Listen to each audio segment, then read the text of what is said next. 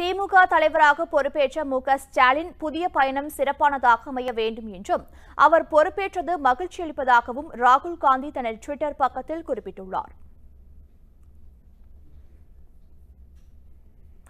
இதேபோன்று பாஜக மூத்த தலைவர் சுப்பிரமணிய சுவாமி தனது டுவிட்டரில் பதிவில் திமுக தலைவராக பொறுப்பேற்ற மு ஸ்டாலினுக்கு தன்னுடைய வாழ்த்துகள் என்றும் அவருக்கு சிறந்த எதிர்காலத்தை விரும்புவதாகவும் குறிப்பிட்டுள்ளார். தனக்கும் ஸ்டாலினுக்கும் எதிராக எதுவும் இல்லை என்றும் கருத்தியல் ரீதியாக நாம் இன்னும் வெகு தூரம் இருப்பதாகவும் அவர் தெரிவித்துள்ளார். ஆனால் அவரது தந்தையின் பாவங்களால் அவரை பார்க்க முடியாது என்றும் சுப்பிரமணிய சுவாமி கூறியுள்ளார்.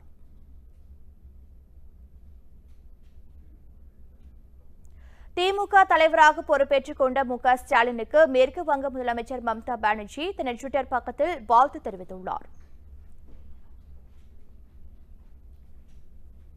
உண்மை செய்திகளை உங்கள் கண்முன் கொண்டு வரும் காவிரி நியூஸின் யூடியூப் சேனலை சப்ஸ்கிரைப் செய்யுங்கள். நொடிக்கு நொடி நாட்டு நடப்புகளை தெரிந்து கொள்ள Kaveri news dot TV Facebook Instagram Twitter போன்ற சமூக வலைதள பக்கங்களோடு எப்போதும் இணைந்திருங்கள்.